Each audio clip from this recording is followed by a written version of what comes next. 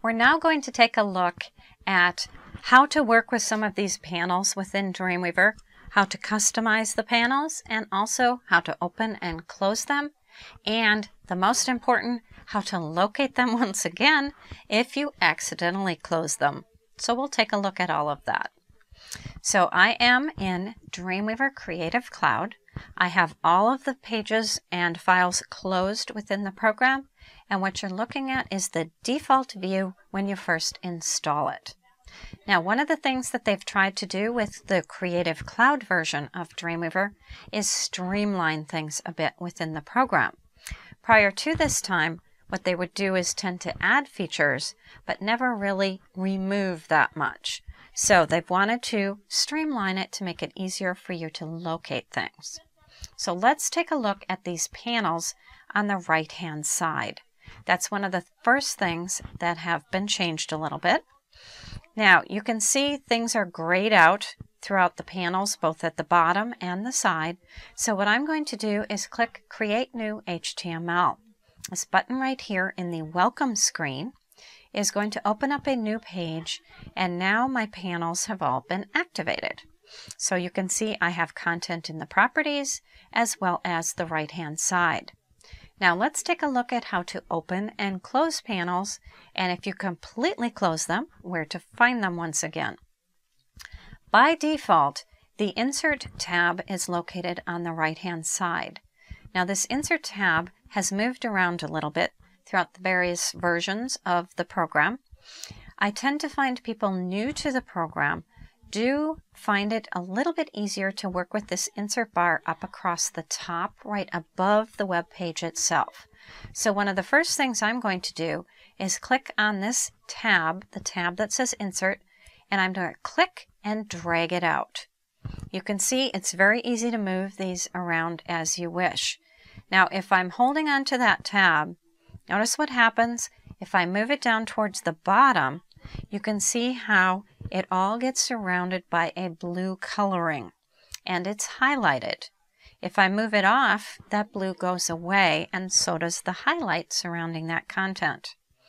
I can move it up towards the top and it does the same thing, or I can even move it over here to separate it and put it out as its own panel and it's all integrated into the panel structure on the right hand side.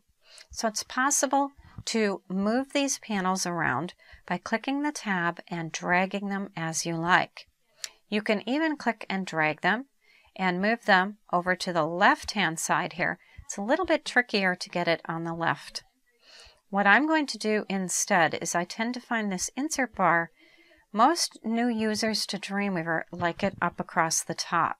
So I'm going to put it directly below the menu items. When I let go, you can see there are these various icons up across the top. And within this area, there are quite a few different tabs. Now the Form tab has quite a few icons in it. I'll take a look at those later. But the idea is you select the tab, then you choose the icon within the tab itself. And you'll see these are now gray. They are no longer colored icons. So I can click on the specific tab first for what I want to do, and then I can choose the icon simply by hovering over it. So what I just did was moved the insert from a panel on the right hand side into a tabbed structure across the top of the document window, which is this area here that's actually going to be showing my web page. So you can move these around. Now the other thing you can do is open and close them. So right now my files panel is showing and if I click on it once you can see it doesn't do anything. Clicking once opens it. If it's already open it won't do anything. So I'll double click to close it up. Now what I've done is closed up all of these panels at the same time. So if I click once, it opens, double click, it closes. To switch panels or panes, you simply click on the tab, just like up across in your insert area. Now, if I want to open some additional panels or even close some up, what I can do is go up to the window menu. You can see this tells me by the check mark which panels are open. So if I uncheck CSS transitions, you can see it's still open, I just don't see it. In other words, there's no content showing. If I really wanted to close this up, what I do is right click the tab, and if I say close tab group, what it does is it would close both of these tabs at the same time. I'm just going to close up CSS transitions. And that closed only that specific tab. Now I'll go back over to Window and let me open another one. I'll click on Assets. Now this particular one is showing up as a free floating panel, which is fine, not a problem. I know how to dock it. What I can do is click on the tab and I tend to put this up next to my files area or I can put it in between the two. And you can see the blue area shows you where it is you're putting it. So if I move it here, it's directly underneath my Files panel. Now the Files panel you want to have open at all times for the most part. So I'll double click that and close it up. Here is the Assets panel. So what I'm going to do is click on that tab and drag it up and I'm going to put it within the Files area. So my files and assets are located together. So I can customize these panels exactly as I want. The properties area is identical. I right click, I can close or close the tab group.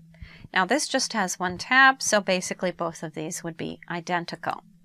And I can always go up to Window and let me close up this properties. You can see it's now disappeared and I can reopen it the insert bar, this one here, is what we just put up across the top. The properties area, you can see does not have a check mark, and I can open that up very easily that way. So the two important ones, they have listed right up at the very top in the window menu. Makes it quite easy to access those. The rest of these will open and close as we need to, but we basically have the three panels open that I tend to work with on the right hand side and we also have the insert bar moved now and that is this one here, the very first one. What we did was we moved it from the right hand side, which I tend to find gets a little bit crowded already, and I moved it up across the top. If I wanted to close that, I would just click on it and you can see it doesn't have a check mark and it's now disappeared. So you can open and close and move these panels exactly how you like them to be. Now the other thing you can do is up in this right hand side, you'll see this little double arrow. And what the double arrow does, if you hover over it, it tells you, collapses it to icons. So I can click on that and it's now collapsed and it moves into a little bit smaller space. Notice you can't see what's going on, but when it's smaller like this, I can always click on the icon and it opens up that panel for me a little bit larger. I can click on this arrow, it collapses it back. So these little arrows up in the upper right do allow you to expand and contract the panels as you like. You can also just drag these out as I had done before and move them onto a separate monitor if you have a two, or if you're lucky enough to have a three monitor setup, you have a very nice area to work. Just move some of these panels over onto your additional monitor, and that way you have a lot more space for your web pages within your single monitor area. But that's how you can start to set up and organize your panels directly within Dreamweaver to customize them just for you. Just notice you do need to have a web page open in order to be able to basically see what you're doing in moving these around. So that is opening and closing and adjusting the panels within the Dreamweaver interface and I now have them set up the way I like to work with them. The only other thing I'd like to do is under Window, I'm going to reopen that insert bar up across the top, this area here, and move over to the Common tab. That's the one I tend to use the most. So I've now customized the Dreamweaver interface. At the same time, I've shown you how to open and close panels and organize it just a little bit more efficiently so we can get started working in Dreamweaver.